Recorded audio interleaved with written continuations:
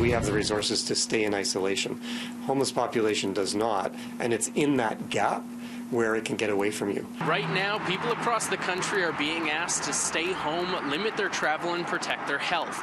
But for one local shelter, they say the focus needs to be on the city's most vulnerable, for it is they who pose a major risk to community transmission. Nobody's given nothing. Nobody's giving you any Nothing. information. No. Meet Billy, a man who's lived on and off the streets of Winnipeg for years. On any given day, he struggles to find food, he's in constant pain, and he's forced to live on little money. With no phone or television, he's not able to get information in order to protect himself from COVID 19. You would never be able to find that information out. And I wouldn't be able to do it.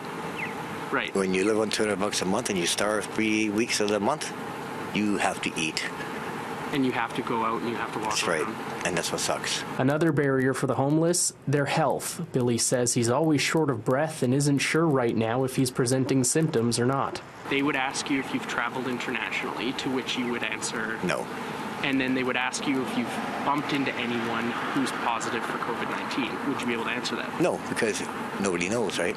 Billy knows dozens of people who rely on using a shelter every night, and he says there's a good chance you're brushing shoulders or coming in close contact with someone.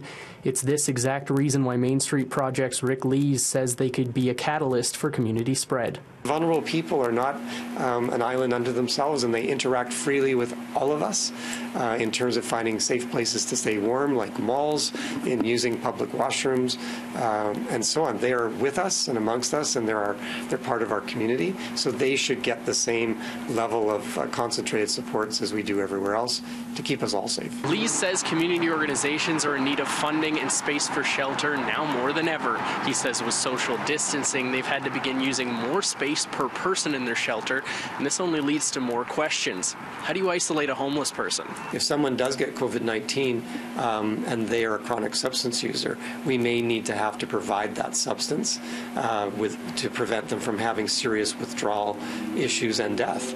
Um, if somebody's a chronic meth user or chronic alcohol user, to, to immediately not have that available to them while they uh, isolate uh, uh, could move to another life threatening issue.